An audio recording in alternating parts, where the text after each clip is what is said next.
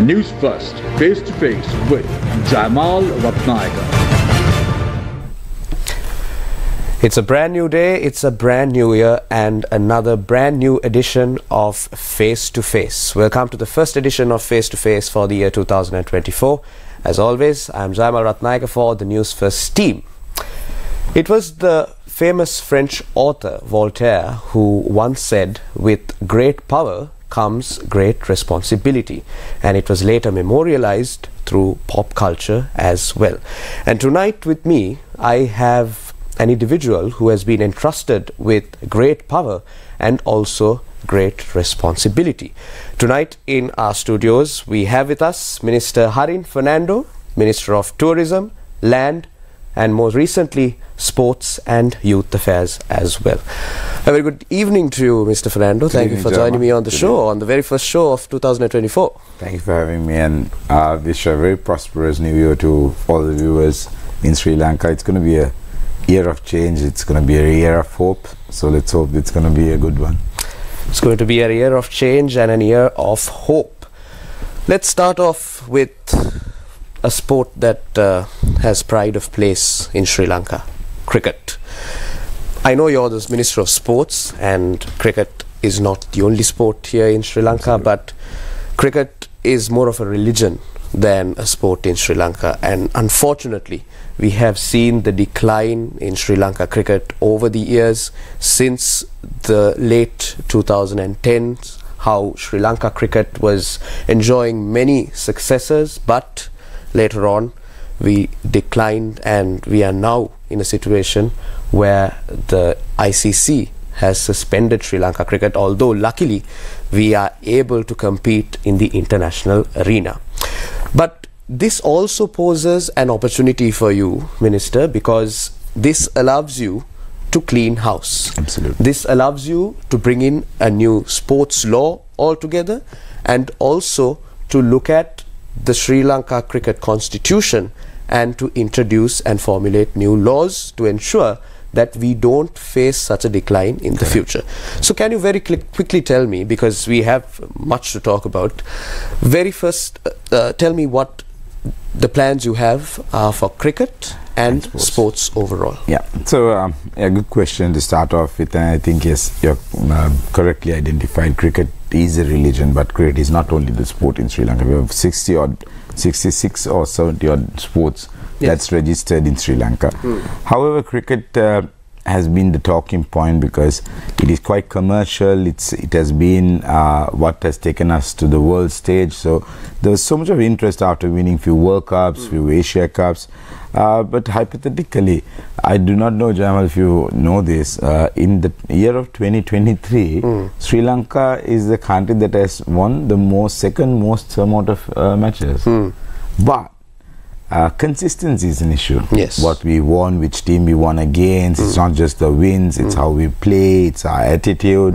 It's how we how we face after a defeat. Um, I mean, a sport you'll always win. You'll always lose. But you keep a dignity and and, and the sport and, and it gives a huge um, impact on the country as Certainly, well. So yes. so these are things that uh, I am more worried to see what has happened over the period of time. Certain people have disclosed lots of corruption within the management. So so there is lots of a cleanup that has to be done. And like you said correctly again, uh, I'm, I'm starting from a clean slate, so it's it's quite easier for me to get this on the right track. And I I have a brief experience uh, doing so uh, when I had a short stint of about an eight months, which I did the right way of getting rid of a uh, corrupted person was so called. And you introduced a new sports corruption sports law. corruption law, Yes. and that's the that's the only country. We are the only country in Asia, not even Pakistan, not even India, not even Bangladesh has it. Other than two foreign countries in Europe, uh, um, probably British and the Australians have it. Other than Yes. that, nobody else has it. So- Established cricket boards, Yeah. yeah. So we we so I I, I personally feel ICC have a bit of respect for me when it comes to being able to change it. Right. And, um, I think that's probably one of the reasons uh, President entrusted me on this job to get this fixed again and get the ban out. So recently, last week, I went and met the ICC officials um, on a brief meeting just for a few hours, and I even met uh, the ACC president Jay Shah, who has been the talking point Yes, right now. yes, but he's a quite a quite a quite influential guy when Hmm. it comes to a country like Sri Lanka. You know, you need to. I mean. It, it's about balancing all of this and uh, you know getting the best for the Sri Lankan cricket. We're because it borders on international relations as well. Absolutely, and we're a very small country. If you really look at it, this is this is what my biggest worry of cricket. Only about four million uh, people or population is among crickets in Sri Lanka. Because you see, after Sanajaya nobody came from Matara really, and it's Galle, Ambalangoda, Kalutara, Panadura, Moratuwa. Then comes Colombo, a little bit of Wattala, Ja-Ela, then Negombo, and that's it. And Kurunagal and Kandy will find uh, odd one or two You players. still haven't found a player from the province you used to represent, the exactly. province. There's nobody from Uva, Ampara, Batticaloa, Jaffna. Jaffna, there's one boy Mm. who had come for LPL, uh, which Right, is good. yes. So we, we are looking at, President has put up a 1.5 billion budget and mm. uh, headed by Sidath Wettimuny and Aravinda De Silva to develop rural cricket mm. and wickets. You need proper wickets for boys to play and you can't be playing matting cricket and then come and play on a turf. So, it's, Turf, a- yes. so it's so quite a lot if you really think Sri Lanka has to do. We are lucky to be where we are if you really think, if you Right. really ask me, because Sri Lankans are born talented cricketers because we inherited this from the British when they were living, and I think that culture has developed over the period of time, and um, it has been good. But how many uh, top schools can afford this expensive sport? Because for a ground you have to pay a lot. We don't have enough grounds. Even in Colombo, schools like Isipatana, schools like Kalumbini, they're good cricketers, but they don't have a proper ground Yes. and they have to hire a ground and SLC has a lot more to do and the government of Sri Lanka need to get that infrastructure right. All in all, we've ch- made some changes. Um, Sanath Jayasuriya has taken over inside SLC and uh, I heard from the boys. I mean, I have a great relationship with most of the cricketers, hmm. uh, not in a personal manner, but Yes. they've respected me, Certainly. I've respected them. So hmm. we, they, they talk to me all of the time.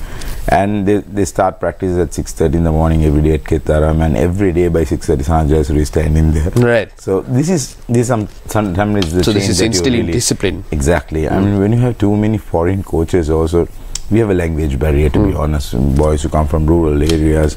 Uh, I'm, I'm I'm not the most favored person when it comes to all Brit- all foreign coaches. I mean, there should be a blend of their expertise Yes. as well as some Sri Lankans being there because it's easy to communicate. Hmm. And one thing I really have seen that I want to change in Sri Lanka cricket is there should be a psychologist and a mentor touring, being with them 24 7. Hmm. Foreign countries, foreign sports people, because it's a, it's a ever evolving sport and it hmm. takes a lot out of you your family time your commitments your discipline hmm. your focus your, the money that you get how you spend it all of that hmm. matters. So uh, um, i mean if you see all blacks in rugby they have a guy or two traveling all the time. So even if you come to breakfast and sit down and your face is not right they'll know there's Yes. something wrong with this guy and then they'll talk to him and they'll get the best out of them. Sri lankan cricket do not uh, I mean, I feel like they have not been the a professional of how we should be contesting. So you you brought up a very interesting point there. You spoke of a psychologist, which mainly has to do with the attitude of the players. And if you take the Sri Lankan fan base, given the successes Sri Lanka cricket has enjoyed, whenever we fail to win a trophy or we fail miserably or lose a match by a considerable margin, we always have this habit of comparing Yeah. one team to Yeah. the other. But Yeah. one must understand that this is modern day cricket, and cricket has evolved since the 1990s, Correct. very much so. Correct. But do you believe even the fan bases are somewhat living in the past when it comes to this, or the players' discipline has actually eroded? both. I would say, um, I mean, you know, nowadays there's quite a lot of keyboard warriors who will always have something to say. Okay. But then again, Sri Lankans have had defeats and they've always backed their side. But now it's different, probably because of our boys' discipline and the way they face the media or Yes. how, how casual they take a defeat. I mean, you know, the entire country sometimes when you when you have a match. there's- I, mean, I remember my dad used to not go to work, keep me Yes. from not going to school. Certainly. And we both sit through the whole day.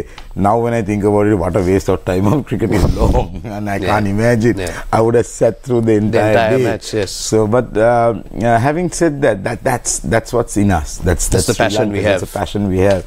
But it's fast eroding, Hmm. and I don't want to see that happening. So. Players' discipline, the way they face the media. I mean, the um, you you need to take ownership, even if you win or even if you lose, even if you do good or even if you do bad. It is it is a quality a sportsman should have, and I feel that uh, since of late, one of the reasons that people are uh, falling off uh, the, the Sri Lankan cricket is because they don't find that discipline amongst the players, um, which I'm, I'm sure we can fix. It's about guiding them. I mean, hmm. these are young boys. You know, all of a sudden when they get money, I mean, you, I mean, it look it could happen to me. It could happen to you. Yes. very easily. So that's why we need proper mentors Hmm. uh, who's always there, who's always guiding them. Because even for them, it's a short stint of uh, play. Yes. And if they don't make the most of it, they will ruin their lives. Certainly. So, so you you need to guide them. So you're confident over the next seven to eight months that you can make at least I want a to see minor the, change. I want to see the I want to see uh, the World Cup one once we go to the 2020 World Cup, which is going to be played in USA and Yes. West Indies, which will favor us. Yeah, West Indies has always favored Yes, us. certainly. Uh, the wickets. So I, I hope the boys, if they commit, if they can be consistent, and With the new selection committee as well. and the selection committee, I'm very very uh, certain. They will do their best because they're young boys and they just got out of cricket, so they know exactly. They've seen the players who have played and they played alongside. This was my whole reason that I was preferring Yes. some young young set of people because uh, I mean, I mean, it's easy to um, get some legends to be the selectors, but but the modern day cricket is very different. They're freshly retired. They know the first class retired, and they- arena. They, know the first class arena. and They know the boys very well. They know the strengths and weaknesses. They share the same changing Yes. room, and also the players are confident to go and talk to them because they know them. So Yes. they're, they, it's not like sir, sir, you know, yes, sir, there is no gap. there's no gap. There's no gap. So I, I feel that that will work for us. So moving from cricket, uh, it's 2024 and it's a leap year, which means that this year we will be having the Olympics in uh, Paris, France, in June this year. But given the situation in other sports uh, in Sri Lanka, we, I, as far as I know, none of our athletes have uh, qualified for the two, 2024 Olympics as of yet. So what's your plan for that, Mister? Yes. So so now Yupun Abeykoon, uh, so, yeah, Yes, Yupun Abeykoon. Yes, he's in uh, Italy. We allowed him to stay there and train, and he will have to compete in few more competitions to be selected to the Olympics. Right. So he's on on course on Yes. that. And a few other athletes similarly, uh, we we are spending them to go around and and perform on these uh, different courses, so that that's how they'll get The selected to qualification, criteria will be fulfilled. But I really believe if Sri Lanka wants an Olympic medal, there are many other ways, many Right. sports How so? that um, we can really work on art archery would be one because we um, shooting could be another Hmm. because um, I mean we, we've been through a 30 year war we have lots of veteran uh, people Marksmen, yes. marksmen so there's quite a lot that we need to promote those sports if we are looking at an Olympic medal unfortunately one thing why I didn't really like to take sports up uh, at one point was that there are more issues on federations than with the, uh, the players Yes. Even recently, you issued a gazette, I Um, yes. think, dissolving several federations. Yes, I mean, I mean, the, the, these federations are just there to make sure that they go on a tour, Right. just on a retirement plan, and and and there's no focus. So, so right now we've we're looking at a consultancy firm to see how we overall change the sport, Right. how to identify things, make it really professional. You know, the ministry. Uh, alone can't do that. Right. This, this is what I believe. I'm a politician. I mean, I at least like sports. Yes. If somebody else who didn't like sports would not know what what what is happening Definitely, and, yeah. and, and trying to make decisions uh, for that sport on that from that ministry would Hmm. not work really well. So I think overall we need to have, look into this in a very professional manner and see. I mean, look at this. We, we are an island nation. There's so much of water bodies inside Sri Lanka. Yes. How many swimmers have we produced? Mm. How many rowers have we produced? Surfers. How many surfers have we produced? Mm. Right. I mean, we're a nation that's blessed with uh, so many stuff, but we need to identify all of this. So that's why I thought a consultancy firm coming through, Right. identifying these sports, hmm. getting what the government should fund into, Right. and have the focus will change the entire dynamics very soon. Right. So there are great plans, great ambitions for the world of sports here in Sri Lanka. Let's hope uh, sincerely that uh, the minister is able to fulfill all of his aspirations. Moving on to your other portfolio, tourism. You took up tourism first uh, late last year. And uh, that was a gargantuan task when you Yeah. took it up, when even the last tourist in Sri Lanka was leaving Sri Lanka. And uh, you went on a, a very uh, big round of tours to promote Sri Lanka first in India and thereafter in countries uh, in Europe as well. How has that fared? Can you give me some highlights of 2023 Oh, yeah, and the plan for uh, 2024? I, I get goosebumps when I think about it. The first day that I went to work, and we sat down, and what we had to do was to find fuel to find the tourists wherever they were stuck to get them into the airport, and uh, you know that was not a good feeling uh, to start off to with. start off with, yes. Um, but then um, first few trips that I took, all I took on my own. I didn't want to cost the government, and we did it on our own. We had the functions only in our embassies. Uh, but eventually, by September, we got around uh, with a small strategy. Right. And uh, the industry really helped me. Industry really supported me from the start. Because they, I mean, they were doomed. Mm, They had nothing. And we all got together and we first went to India and we went to Delhi, Hyderabad, Ahmedabad, uh, Chennai, Bangalore, Cochin. We went on, on this huge tour and we took about 40 companies of Sri Lanka. And we really made an account of ourselves and, and, and showed that first thing was that to say that Sri Lanka was normal. Right. That was a challenge because we had a massive political crisis, Yeah, there 12 hour power cuts.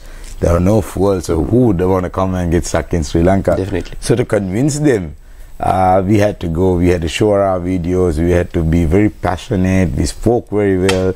I think they really loved us at that point, and the Indians really helped us. And there was a lady called Jyoti Mayal. She was uh, the head of the entire Indian Travel Association, and you know she she traveled everywhere with us. And she said she goes to a meeting and says, "Okay, put your hands up. Who's going to send ten people today and sign it up today?" And that's that's kind of passion that we had, and we we really mingled very well with them. And then we had a massive this year their entire travel association AGM because I believe uh, I always say seeing is believing so people need to come and see there are lots of influencers that we brought into Sri Lanka just to show that Sri Lanka is getting back to normal and is And normal safe, yes. and it is safe and, and the numbers prove for itself I was targeting for this year 1.5 now for la- yesterday when I checked it was 1.4 million 70,000 so Right. so I think the highest there. number of tourists in a record year was 2.3 million in 2.3 million 2018. in 2018. That was our peak.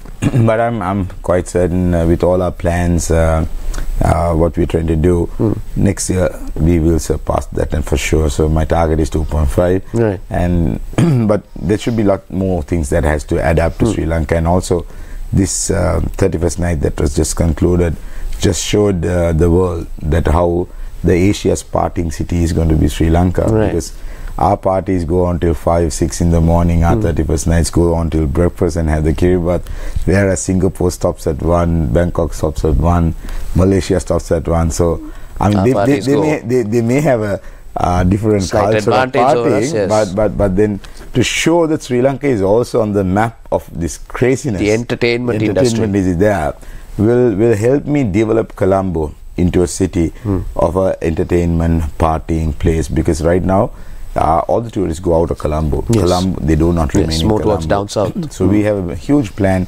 of uh, changing the president uh, house Okay. uh, into a hotel. We're Right. trying to change it, the Navy camp into a restaurant area. Right. And the entire Lotus uh, Road, uh, like a mini Clarke Quay with all those warehouses converted. So next year you see all of those development coming in Colombo. Right. Um, there's a quite a lot of casinos in Colombo. Port Yes. City is going to be developed. So that will uh, make uh, tourists whoever go out of Colombo will Be stop centralized in Colombo Colombo. for two days or three days as well, which will give us a big, huge boost. Right now, it's only the business travelers who stay here, Yes. and and the casino travelers who was coming from India and China.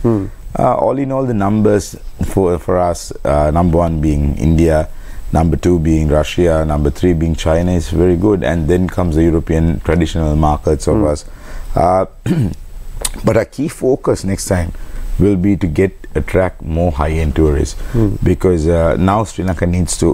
We should not compare ourselves to a Bangkok or a Vietnam or or a Thailand and say they are cheap and we are we are very bit expensive. But yes, Sri Lanka is a different product altogether. What we have to offer is very very different. the Ramayana trail will be a different experience. Mm. The ferry traveling for all pilgrimages will be a different different aspect. Mm. Aspect, looking into yes. it. Trying to go into Japan and promote wellness tourism because that has a huge scope and you can, and you can also potential as and you can also charge them. And our low season, I would never say Sri Lanka is an off-season Hmm. destination, but our low season is the season for Australia. We're trying to work with two airlines to have a direct flight, Okay. other than Sri Lankan Airlines, to fly in to be low cost, Okay. so that uh, the surfers do can come in through because lots Australians surf a lot, Hmm. and they're hot spot is uh, Bali Okay. and Thailand, but they're tired So of we can tap there. into that market Yeah, but they're tired. They, they only go there. So, but they, I mean, they come to Sri Lanka want to change. they will definitely love Sri Lanka because it has so much to offer. It's just not the water, it's adventure, hmm. it's a culture, It's it's, the inheritance, the food, the hmm. people. So I think Sri Lanka altogether, that's why our tagline is Sri Lanka, you'll come back for more. Hmm. Why we did that also was 33% of Sri Lankan travelers are repeaters. So we went through this, uh, I mean, it was not my words, it is uh, Ogilvy, which is a Yes. global company who came up with this campaign. And actually, people love it. People who have come back, they say you're absolutely right. We, we come back for Sri Lanka because Right. So it, it go. resonates with them. A- absolutely. And we, we haven't done a campaign for the last 15 years.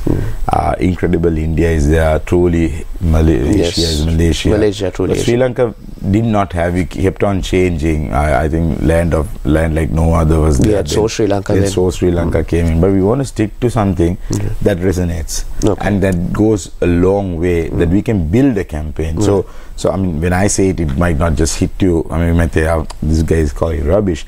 But but, but when the video footages um, the, the the campaign Ogilvy has done you watch it you feel I mean you're attracted to it and you see, this is this is absolutely right. Yeah. And the guy so we're just starting our campaign. It's a massive campaign. Hmm. We're doing it in um, five different areas. So China will go separate, Europe will go separate. Hmm. So we're going to go market specific and uh, do a Promote do it in that promote sense. in that sense. And Right. Very soon you will see on trams, uh, trains in England, Hmm. China, the word Sri Lanka. You come back for more. So we're doing a proper campaign, and I'm Right. quite hopeful that uh, things will turn good. And honestly, to be honest, I'm I, I I'm quite excited with that ministry, and uh, and I and I feel we've done well. Right. We need a domestic uh, airline to operate Sri Lanka so that we can attract the high end. Hmm. We're speaking with India for two helicopters, which can carry 21 seater helicopters, so that you can go to Ella or you can go to uh, Nuwara Eliya. Uh, to places where you don't can't even land a seaplane. True. Uh, so the, I mean that's where the high end will quickly Hmm. start coming in. They'll spend. They'll spend if you, if you have the product. Yes. So Trinco, you don't want to go by road, but you can easily You can fly. easily go by so plane, yes. Air Force and us, we are trying to work on something on a 40 seater aircraft to Right. have scheduled aircraft uh, Okay. air operation next year.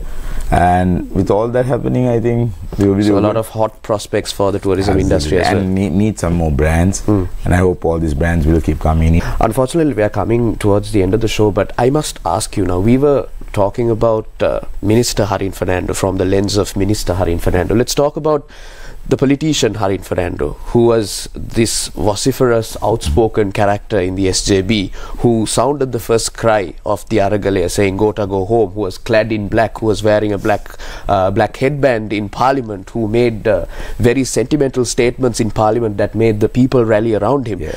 But since Harin Fernando took on these ministries and crossed over to the government, those those sentiments have died down. Well- and we will all agree that corruption, Yeah. fraud, and corruption, Mr. Fernando, is the reason Sri Lanka is where we are. And even recently, we saw how substandard human immunoglobulin medicine was brought down Sri Lanka and administered to the people. Why is Harin Fernando silent on this? Has he gone soft, or what, what's the uh, reason for this? Absolutely not. Uh, see, my, my whole my whole idea about it was when we chanted to uh, for Gota to go home. Hmm. We did this campaign. I mean, I was I mean, I just went through a bypass open heart surgery, Hmm. but within two weeks I got back to work and uh, with, against my all my family's wishes. Hmm. But I worked really hard and I had a lot of strategies inside Parliament, outside Parliament. Right. I worked a lot with uh, my former leader Sajith Premadasa and he did believe me in everything. Hmm. But unfortunately, when we got the opportunity uh, to take It was not seized. to, to take responsibility, I as a human and I as a person who loves challenges, Hmm. hurt, I mean, made a personal call. Hmm. And uh, when my leader did not want to take a hmm. challenge, it it really hurt me. And at hmm. that point, I thought, no, it's my responsibility too, because I called Gota go home, but the country was suffering. The country came into a complete